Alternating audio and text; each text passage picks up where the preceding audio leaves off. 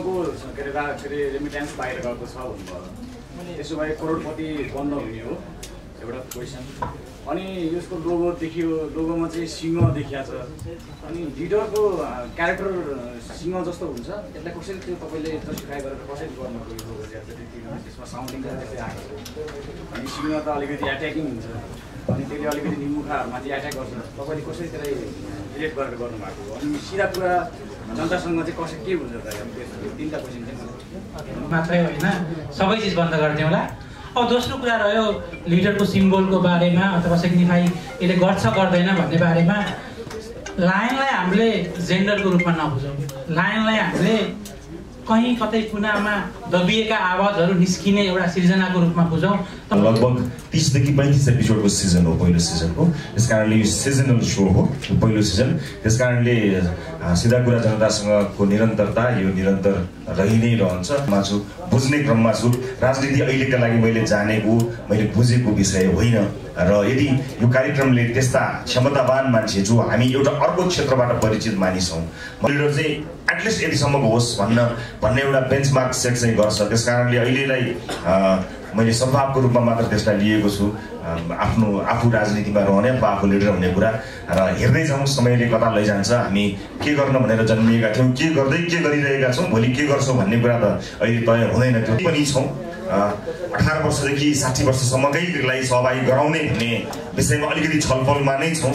तर हामीले जुनसुकै उमेर वर्गको मान्छे छानेर ल्याइदिए पनि आखिर उसले आफूले प्रस्तुत गर्ने उनको भिजनका आधारमा प्रस्तुत जो सहभागीको भिजनका आधारमा सेलेक्ट हुने भयो। यो अन्तर्राष्ट्रिय फ्रेन्चाइज यहाँबाट नेपालबाट बाहिर जान सबै क्षमता राख्ने एउटा कार्यक्रम बनाउन लागेको परिप्रेक्ष्यमा फिल्मी कुरा समेट्छौँ सम्पूर्ण कुरा। NTV superhit cinema. अब नयाँ नयाँ सुपरहिट नेपाली चलचित्र प्रत्येक शनिबार अपराह्न बाह्र बिस बजे। मात्र नेपाल टेलिभिजन एचडीमा हेर्न नभुल्नुहोला। Marketed by radio link advertising आफ्नो प्रश्न सोध्नुहुन्छ त्यति मात्रै। Hello hello. हेलो। मेरो के अरे एक दुई- दुईवटा क्वेसन मात्रै छ। कि विपिन सरले भन्नुभएको थियो हाम्रो करोडौँको के अरे के अरे रेमिट्यान्स बाहिर गएको छ भन्नुभयो। त्यसो भए करोडपति बन्द हुने हो। एउटा क्वेसन। अनि यसको लोगो देखियो लोगोमा चाहिँ सिंह देखिया छ। अनि लिडरको क्यारेक्टर सिंह जस्तो हुन्छ। यसलाई कसरी त्यो तपाईँले जस्टिफाई गरेर कसरी गर्नुभयो त्यसमा साउन्डिङ आएको अनि सिंह त अलिकति एट्याकिङ हुन्छ। अनि त्यसले अलिकति निमुखाहरूमाथि एट्याक गर्छ। तपाईँले कसरी त्यसलाई रिलेट गरेर गर्नुभएको अनि सिधा कुरा जनतासँग चाहिँ कसरी के बुझ्छ त? तिनवटा क्वेसन चाहिँ। पहिलो कुरा करोडपति। सुनिरहेको बन्द हुँदैन। पहिला भनिन्छ इलेक्ट्रिसिटी पहिला देशलाई निर्भर बनाऊ अनि बल्ल पेट्रोल नल्याउँला। सो अहिले फ्रेन्चाइजीहरू नेपाली बनाउँदै जाउँ जुन दिन लाग्छ बाहिरबाट केही पनि ल्याउनु पर्दैन। त्यो दिन गोवंश करोडपति मात्रै होइन। सबै चिज बन्द गरिदिउँला। अब दोस्रो कुरा रह्यो लिडरको सिम्बोलको बारेमा अथवा सिग्निफाई यसले गर्छ गर्दैन भन्ने बारेमा। लायनलाई हामीले जेन्डरको रूपमा नबुझौँ। लायनलाई हामीले कहीँ कतै कुनामा दबिएका आवाजहरू निस्किने एउटा सिर्जनाको रूपमा बुझौँ। तपाईँले त्यहाँ लाइन त देख्नुभयो लाइनको पछाडि एउटा नर्मल मान्छे पनि देख्नुभयो। त्यो मान्छे चाहिँ एउटा यस्तो इन्टिटीमा डेभलप होस् जसले आफ्नो लागि मात्रै होइन। आफूसँग जोडिएका सम्पूर्ण चिजहरूलाई अगाडि ल्याउने काम गरोस् भन्ने त्यो सिग्निफाई गर्नको लागि चाहिँ लाइन सिम्बल राखिएको हो। न यो यो सिम्बल चाहिँ जेन्डरभन्दा पनि माथि छ यो सिम्बल सबै कुराभन्दा माथि छ। एउटा यो एउटा के हो त भन्दाखेरि एउटा थट प्रोसेस हो जसमा चाहिँ न बोल्न जान्नेहरूले बोली पाउनेछन् केही गर्न नसक्नेहरूले आवाज पाउनेछन् भन्ने थट प्रोसेसमा चाहिँ हामीले लायनलाई चाहिँ सिग्निफाई गरेको हो। बोल्ड एन्ड फियरलेस क्यारेक्टर हुनुपर्छ एउटा लिडर भनेको जसले अघि बाबुराम सरले भने जस्तै समय समयकालमा एउटा साहसिक निर्णय पनि गर्न सकोस् आफू मात्र होइन एउटा जनरलाई नै इन्सपायर गर्न सकोस्। सो हामी पनि चाहन्छौँ यो लोगोले मानिसहरूलाई के बुझाइदियोस् भने यो प्रोग्राम जब सकिन्छ एउटा इन्स- जेनेरेसनलाई इन्सपायर गरिदियोस्। विदेश नेपाली जाने होइन भएका विदेशमा भएका नेपालीहरू पनि अब देश बनाउनुपर्छ भनेर फिर्ता आउन् एउटा आवाज सम्पूर्ण माझ पुगोस्। लायनको आवाजभन्दा बलियो आवाज यो दुनियाँमा के होला? थ्याङ्क यू मेरो प्रश्न छ है। मेरो मेरो प्रश्न छ जुन कार्यक्रम अहिले सिधा कुरा जनतासँग छ त्यो निरन्तर नै रहन्छ। यो एउटा एक एक सिजनको कार्यक्रम लम्ब लगभग तिसदेखि पैँतिस एपिसोडको सिजन हो पहिलो सिजनको। त्यस कारणले यो सिजनल सो हो यो पहिलो सिजन त्यस कारणले सिधा कुरा जनतासँगको निरन्तरता यो निरन्तर रहि नै रहन्छ। अझ यो त झन्डै पाँच सय एपिसोडको तयारीमा पनि रहेको छ। पाँच सय एपिसोडबाट यसलाई अलिकति परिमार्जित परिष्कृत र अझ बढी भव्य बनाउने तयारी पनि साथसाथै रहेको छ यो पनि म स्पष्ट पार्छु तपाईँलाई धन्यवाद तर अर्को कुरा आएका प्रतिक्रियाहरूबाट हामीले प्रस्तुत गरेका हरेक चिजमा ती अकाट्य अपर अपरिवर्तनीय चिजहरू होइनन् प्रतिक्रियाहरूलाई साथमा लिएर जब हामी कार्यक्रम प्रस्तुत गर्छौँ ती प्रतिक्रियाहरूलाई लिएर त्यसका सकारात्मक पक्षहरूलाई लिएर हामी यसलाई परिमार्जित गर्नको लागि सदैव खुल्ला छौँ यो पनि म यहाँलाई स्पष्ट पार्छु मेरो प्रश्न छ म सर र भनिहाल्छु मेरो प्रश्न र त्यही अनुसार उत्तर दिनु होला। सर्वप्रथम बधाई छ। ट्रेलर साँच्चीकै मन पऱ्यो मलाई। तर ट्रेलरमा एउटा मिस्टेक भएको कि जस्तो मैले देखाएको छु। त्यो नेपालको जुन नक्सा छ अहिले यत्रो विवाद छ झन् बिग्रेर आएको छ जस्तो मैले त्यहाँ देखेँ। यसलाई सच्याउन जरुरी भएको मैले देखेँ। त्यसमा त ग्रेटर नेपाल छ हजुर। ग्रेटर नेपाल छ। ग्रेटर नेपाल त्योभन्दा पनि ठुलो नेपाल हाम्रो त ग्रेटर नेपाल त्यति ठुलो छ थ्याङ्क यू यो र अर्को क्वेसन यसमै सर म जोड्न चाहन्छु। तिन करोडबाट चाहिँ नेता छान्ने भन्नुभएको छ तर तिन करोड नेपालीले अहिले सबैभन्दा बढी आश्रित तपाईँमा गरिरहेछन्। तपाईँ नै अब चाहिँ नेता बन्नुपर्छ तपाईँ नै राजनीतिमा आउनुपर्छ भनिरहेका छन् तपाईँ किन यो रणभुल्नमा परेर चाहिँ अरू मान्छे खोजिराख्नु भएको छ? यसको उत्तर पनि दिनु होला एउटा। र अर्को यो चाहिँ अब राष्ट्रियतासँग जोडिएको प्रश्न यो इभेन्ट पनि भयो यो प्रोग्राम पनि भयो। अब यो प्रोग्राम गर्नलाई करोडौँ पैसाको आवश्यकता पर्छ अर्गनाइजरलाई अब यो प्रोग्राम गर्नको लागि यो मल्टिनेसनल कम्पनीहरूको चाहिँ विज्ञापन बच्छ कि बच्दैन एउटा राष्ट्रियताको प्रश्न त्यहाँ रह्यो। होइन प्रड्युसरज्यूले भन्नुहोला। विशेष गरी अझ रक्सीका विज्ञापनहरू बढी आउनु आउँछन् यस्ता कार्यक्रमहरूमा। रक्सीलाई स्पेस दिनुहुन्छ कि दिनुहुन्न मदिरालाई? यो पनि भनिदिनु होला। आयोजकज्यूले मैले छुट्याएँ भने भनिदिनु होला। सबभन्दा पहिला तपाईँले भन्नुभयो त्यो सद्भाव हो त्यो सद्भावको लागि धेरै धेरै धन्यवाद। तर हामीलाई के लाग्छ भने कुनै पनि क्षेत्रमा मानिसले केही असल काम गर्यो देखियो अथवा कसैलाई लाग्यो केही असल भन्दा पनि आफ्नो काम इमान्दारितापूर्वक गरेको कोही मान्छे देखियो कि यही नै तारणा हो कि भन्ने एउटा हामीमा पर्न आएको थियो नै एउटा ठुलो सङ्कट लिडरसिपको सङ्कट भएका कारणले नै यो कार्यक्रम जन्मिएको हो। कुलमान घिसिङजीले उज्यालो बनाउनु भयो उहाँलाई नै बनाउनुपर्छ देशको मन्त्री प्रधानमन्त्री अथवा ऊर्जा मन्त्री भन्ने एउटा सोच। डक्टर बाबुराम भट्टराई यहाँ हुनुहुन्छ। मैले उहाँको बाबुरामलाई काम गर्न देऊदेखि बाबुरामलाई फाँसी त भनेन होला तर बाबुरामलाई मुर्दाबादसम्म भनेका टी सर्टहरू छापिएको पनि मैले देखेँ। यी सबै पेजहरू हुँदो रहेछन्। त्यस कारणले मेरो परिप्रेक्ष्यमा म चाहिँ हुर्किने क्रममा छु देख्ने क्रममा छु बुझ्ने क्रममा छु। राजनीति अहिलेका लागि मैले जानेको मैले बुझेको विषय होइन।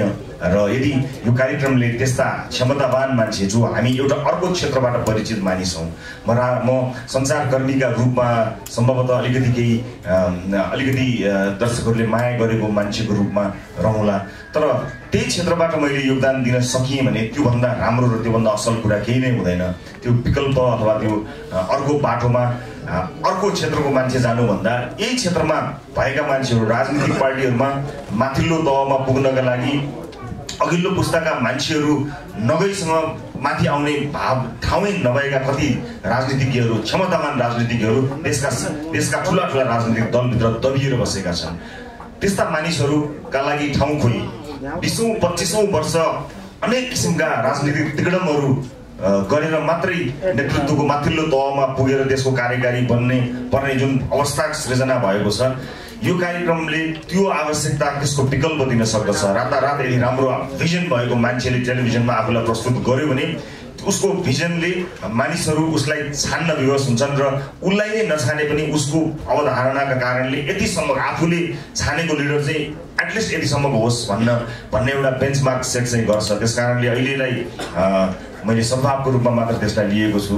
आफ्नो आफू राजनीतिमा रहने अथवा आफू लिडर हुने कुरा र हेर्दै जाउँ समयले कता लैजान्छ हामी के गर्न भनेर जन्मिएका थियौँ के गर्दै के गरिरहेका छौँ भोलि के गर्छौँ भन्ने कुरा त अहिले तय हुँदैन त्यो चाहिँ मानिसको जीवनमा भइपरि आउने घटनाहरूले तय गर्ने कुरा हुन्। र अहिलेलाई चाहिँ हामी देशभरिका त्यस्ता क्षमतावान मान्छेहरूको खोजीमा छौँ जो साँच्चै नै यो देशको राष्ट्र सेवक बन्न सकोस् साँच्चै लिडर हुन सकोस् र अर्को अलिकति व्यापारसँग जोडिएको कुराहरू छ होला जुन जसरी आम सञ्चार माध्यमहरूमा जुन नर्म्सभित्र रहेर व्यापार व्यवसायहरू गर्छन् त्यस त्यसलाई त्यसैलाई नै निरन्तरता दिइन्छ त्यसभित्र त्यसभित्र त्यसभन्दा बाहिर गएर असहज हुने तरिकाले यसको व्यापार प्रवर्धन गरिँदैन। अफकोर्स यो एउटा महत्त्वकाङ्क्षी र कार्यक्रम राम्रो कार्यक्रम बनाउँदा अन्तर्राष्ट्रिय स्तरको कार्यक्रम निर्माण गर्दा त्यसमा ठुलो आर्थिक भार त्यसलाई पर्छ त्यस अर्थमा बजार व्यवस्थापन गर्ने क्रममा धेरै चुजी भइयो भने पनि गाह्रो पर्ला तर धेरौँ आएका प्रतिक्रियाहरूलाई साथमा लिँदै सबैलाई सर्वस्वीकार्य हुन बनाउने कोसिस गर्दै हामी पक्कै पनि जानेछौँ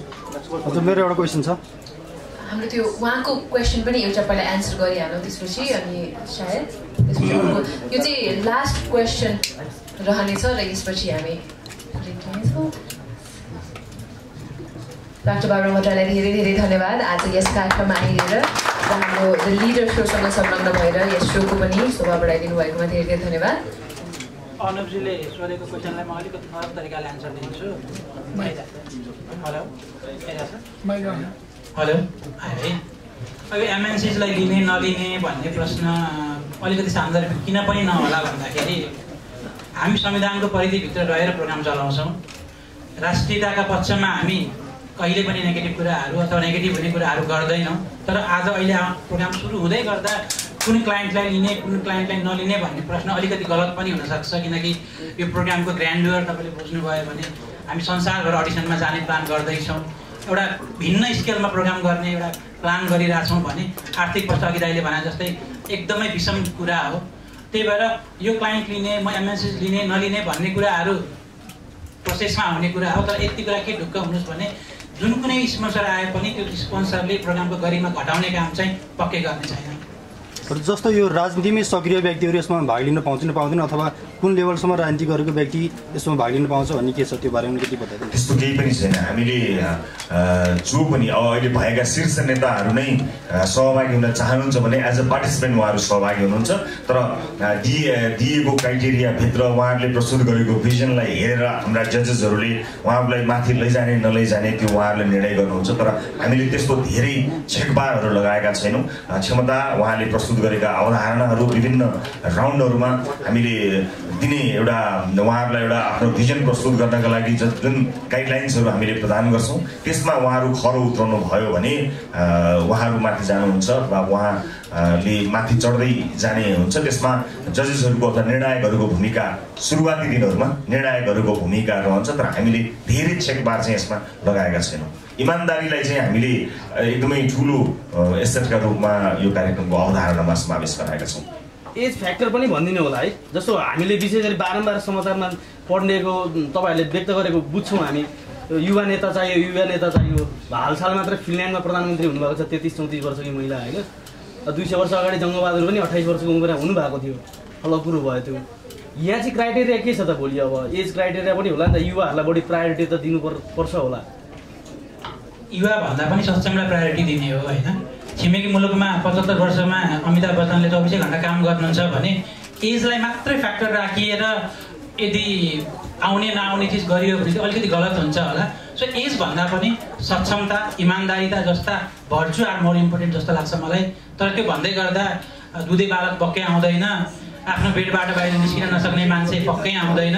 सो एजलाई स्टिरियोटाइप गर्नुभन्दा पनि क्यापेबिलिटीलाई चाहिँ बढी फोकस गरियो भने चाहिँ त्यो राइट हो कि जस्तो लाग्छ। एजुकेसनको बारेमा भन्दा एजुकेसन लिमिट चाहिँ गर्ने? फेरि मैले छिमेकी देशकै कुरा जोडेँ है। चिया कुनै बेला चिया बेच्ने मान्छे नरेन्द्र मोदी प्रधानमन्त्री बन्न सक्छ भने सक्षमता चाहिन्छ डिग्री होइन एक्सपिरियन्स क्यापेबिलिटी चाहिँ हाम्रो प्राय क्राइटेरिया हुन्छ। तर त्यो भन्दैमा केही पनि नजान्ने मान्छे पनि होइन। यसमा अलिकति म थपी पनि हाल्छु किनभने यी जिज्ञासाहरू एकदमै महत्त्वपूर्ण हुन्छन् यसलाई क्लियर गर्नको निमित्त हामीले छान्नका लागि सभा सहभागी हुन पाउने एप्लिकेसन भरेर कार्यक्रममा सहभागी हुन पाउनेहरूका लागि धेरै खुला राखेका छौँ। तर निर्णायकहरूले उहाँको क्षमता जाँच्नुहुन्छ। हेर्ने दर्शकहरूले भोटिङ गर्ने सिस्टम पनि छ। त्यसका आधारमा कोही मानिस अहिलेलाई हामीले तर त्यसमा त्यसमा अलिकति हामी छलफलमै पनि छौँ। अठार वर्षदेखि साठी वर्षसम्मकैलाई सहभागी गराउने भन्ने विषयमा अलिकति छलफलमा नै छौँ। तर हामीले जुनसुकै उमेर वर्गको मान्छे छानेर ल्याइदिए पनि आखिर उसले आफूले प्रस्तुत गर्ने उनको भिजनका आधारमा प्रस्तुत जो सहभागीको भिजनका आधारमा सेलेक्ट हुने भएको हुनाले हुनसक्ला कोही पचास पचपन्न साठी वर्षको मान्छे पनि आफ्नो भिजनमा खरो उक्रिएर माथि जान पनि सक्ला। त्यस कारणले हामीले निर्णायकहरूलाई र दर्शकहरूलाई आम भोटर्सहरूलाई हामीले छुट्याएका छौँ। अलिकति लोकतान्त्रिक तरिकाले त्यसलाई प्रस्तुत गर्न खोजेका छौँ। धेरै रेस्ट्रिक्सन्सहरू पहिल्यै नराखेर उहाँहरूले यदि विवेकी निर्णायकहरू हुनुहुन्छ उहाँहरूले थाहा पाइहाल्नुहुन्छ यो मान्छे पढेको पनि छैन यो माथि जान लायक छैन अथवा यो मान्छे अलिकति अस्वस्थ पनि छ अथवा यो मान्छे अलिकति उमेर धेरै भएको हुनाले त्यति जोस जागर पनि आफ्नो भिजनमा देखिँदैन भने उहाँहरूले इलिमिनेसन गर्नुहुन्छ। तर हामीले ल्याउने क्रममा चाहिँ सहभागिता बढाउँ भन्ने हामी हेरौँ न त। मुलुकको परिवर्तनमा अथवा लिडरसिपमा कुन उमेर समूहका कस्ता कस्ता मान्छेहरूलाई सहभागी हुन मन लाग्दो रहेछ भन्ने कुरा जान्नु पनि हाम्रो लागि जरुरी भएको यो फर्स्ट सिजन भएको हुनाले हामी केही एक्सपेरिमेन्टहरू गर्नेछौँ। त्यसका आधारमा हामीलाई जज नगरिदिनु होला हामीलाई मूल्याङ्कन नगरिदिनु होला किनभने यो काहीँ भइदिएको भइसकेको कुनै कार्यक्रम भइदिएको भए ठ्याक्कै कागजका पान्नाहरू पल्टाएर यो ठाउँमा यस्तो हुनु पर्थ्यो भन्ने हुन्थ्यो। हामी त आफै त्यस्ता कागजहरू बनाउँदै अगाडि बढ्दै गरिरहेको हुनाले पहिलो सिजनमा तपाईँका धेरै प्रश्नहरू अनुत्तरित हुन सक्छन्। तर त्यसलाई सकेसम्म उत्तर दिने अथवा त्यसलाई न्याय गर्ने कोसिस चाहिँ हामी गर्छौँ। यदि हाम्रो तर्फबाट त्यसमा न्याय हुन सकेन भने हामीसँग पाँचजना जजेसको प्यानल छ। उहाँहरूले पक्कै पनि न्याय गर्नुहुन्छ। त्यसपछि फेरि आम सर्वसाधारणले भोट गर्ने एउटा निर्वाचनसम्मको अवधारणा छ कार्यक्रमको। फिनालेमा चाहिँ निर्वाचन नै हुन्छ जसरी मुलुकमा आम निर्वाचन हुन्छ। विभिन्न ठाउँमा भर्चुअल इलेक्सनमा नि पनि र अलिकति रियल इलेक्सन जस्तो गरी निर्वाचन आयोग पनि हामीले यसमा राखेका छौँ। हाम्रो जसले चाहिँ स्वच्छ भोटिङलाई हेर्न सकोस्। ती सबै चिज भएको हुनाले एकदमै लोकतान्त्रिक अभ्यासमा आधारित रहेर कार्यक्रम प्रस्तुत गर्ने जमर्को रहन्छौँ। त्यस कारणले प्रश्नहरू धेरै रहन सक्लान्। बेसिकली एउटा अवधारणाका लागि मैले यी सबै कुराहरू यहाँहरूलाई बताएको छु। यसबाहेक पनि तपाईँका धेरै प्रश्नहरू होलान् जसको उत्तर आज अहिले तुरुन्तै ठ्याक्कै चाहे जस्तो नहुन अब सयौं पसल धाउनै पर्दैन। कोटेश्वर एरियाकै लोकप्रिय gents collection Amax fashion wear